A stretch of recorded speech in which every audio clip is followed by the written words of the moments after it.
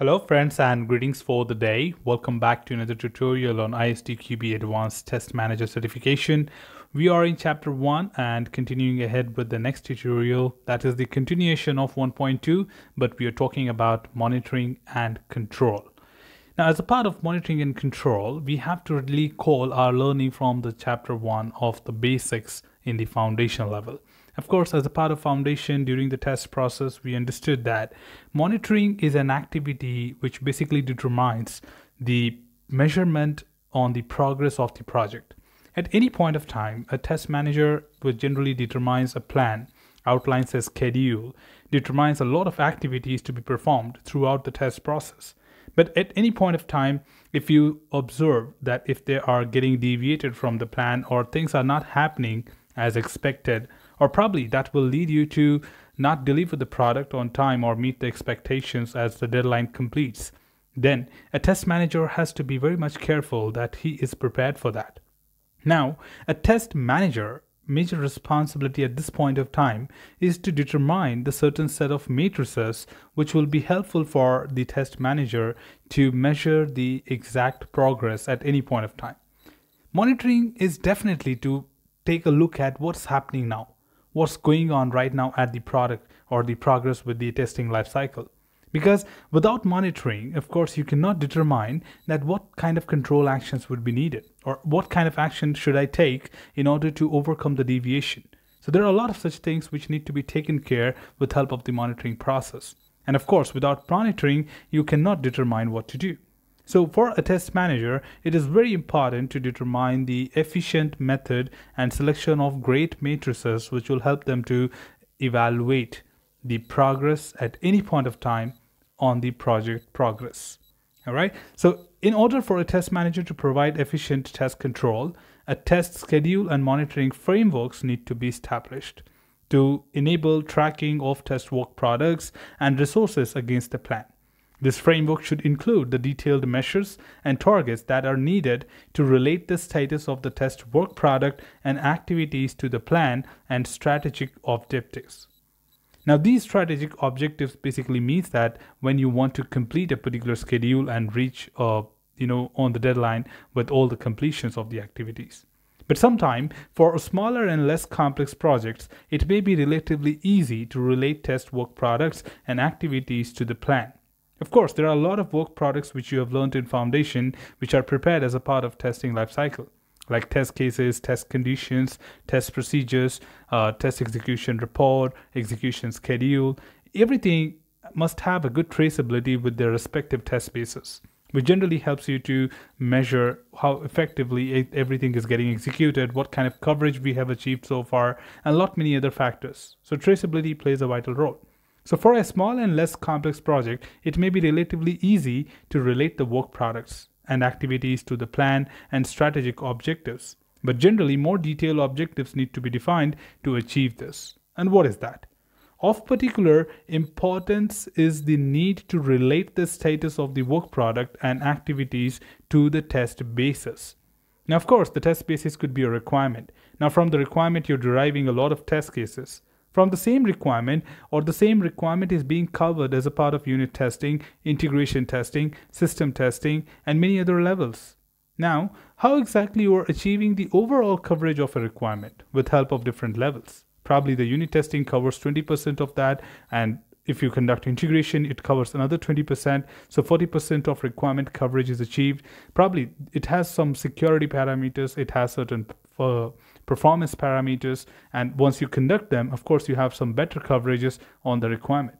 So yes, until unless you have a good relationship, good connectivity between the basis and the work products which you're creating or the activities which you're performing as a part of the lifecycle, then of course the monitoring will not tell you that how exactly you're progressing.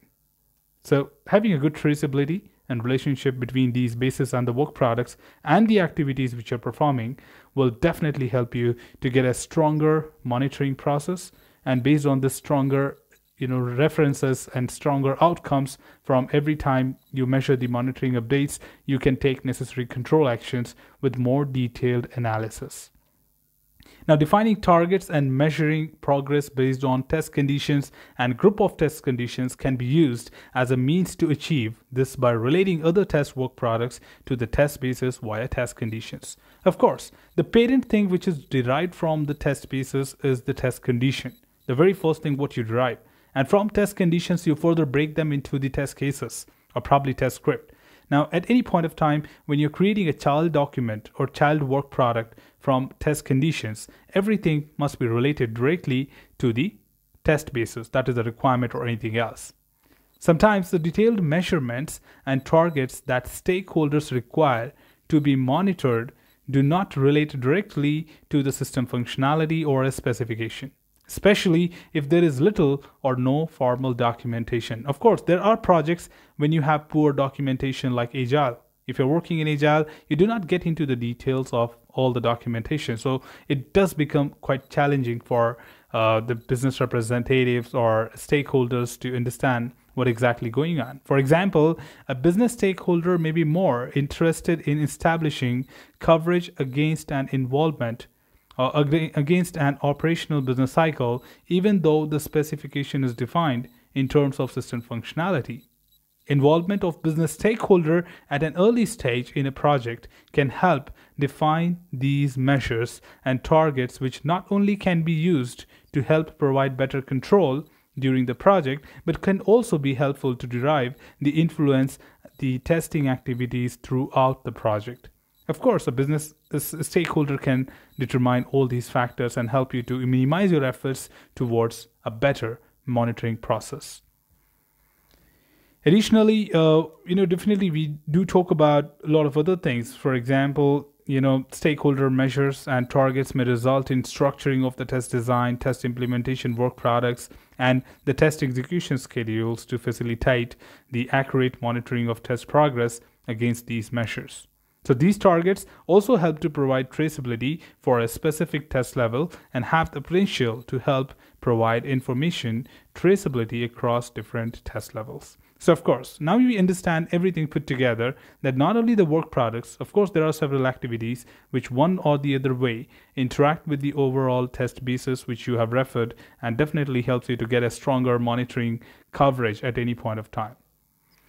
Further to continue, we are talking about the test control, which is the second part of it. And definitely control actions are basically your guiding or corrective actions which help you to overcome a deviation from the schedule, which is obviously taken as a result of uh, measurement on the test monitoring part. So monitoring will tell you what's the deviation and control action will be to overcome that deviation. You deploy certain guiding and corrective actions. And test control is not a one time activity, it's an ongoing activity. Like at any point of time, if you think that something is not happening, which should have happened on a particular day, being a test manager, you deploy a control action. For example, the environment was supposed to be ready by today, but it is not ready. Make sure that it happens tomorrow. You don't just don't let that crack get bigger in the schedule being, being deviated from the plan. It involves comparing actual progress against the plan and implementing corrective actions when needed.